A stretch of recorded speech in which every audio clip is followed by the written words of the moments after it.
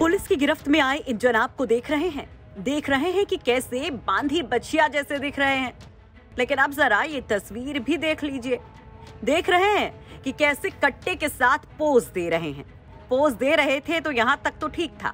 बस गलती ये कर बैठे कि इस पोज वाली एकदम फैंटम फ़ोटो को भौकाल टाइट करने के लिए सोशल मीडिया प्लेटफॉर्म पर शेयर कर दिया। बस फिर क्या था? जैसे ही चंदौली पुलिस की नज़र इस फ़ोटो पर पड़ी तो पुलिस ने इनकी ही हवा टाइट कर दी। युवक को कट्टा समेत गिरफ़्तार कर जेल भेज दिया। ये नित्यानंद पांडे है, थाना बलुआ क्षेत्र का रहने वाला है। इसके द्वारा सोशल साइट पे तवंचे के साथ फ़ोटो लगाई गई थी। तो हमारे इंस्पेक्टर राजीव सिंह ने इसका तफ्तीश किया, तफ्तीश करके इसको अरेस्ट किया। तो ये संज्ञान में आया, एक कुख्यात बदमाश है, बकाटू यादव। उसका पूरा नाम है हाँ सुनील यादव और बकाटू। ये अभी जमानत पे आया है। इसने ये नया नया सदस्य इसको जोड़ा था।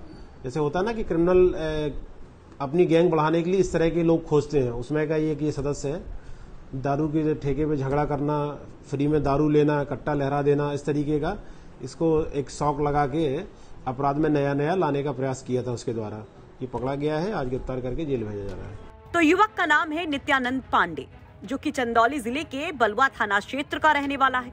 जब पुलिस ने गिरफ़्तार कर पूछताछ की तो जानकारी मिली कि ये युवक सुनील यादव नाम के एक शातिर अपराधी के संपर्क में आया था और सुनील यादव इसे अपना सहयोगी बनाना चाह रहा था।